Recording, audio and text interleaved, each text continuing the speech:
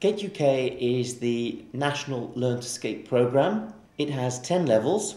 It's open to all, it's open to children, to adults, and we generally get a lot of beginners that come along on the first week. They generally all progress through to level one and beyond. It's a six week course. Each lesson lasts for 45 minutes. The sessions are delivered by our resident qualified coaches, and we also have assistants that are on the ice to help out.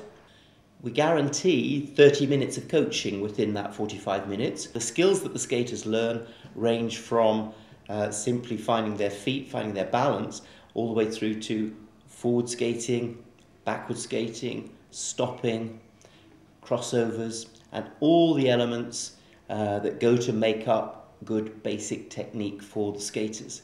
The skaters will progress, and by the time they get to level 10, they are already pretty competent skaters. They're starting to do some spin work, they're starting to do some jumps, um, and they're combining all of the various steps and movements that they've learnt through the 10 levels.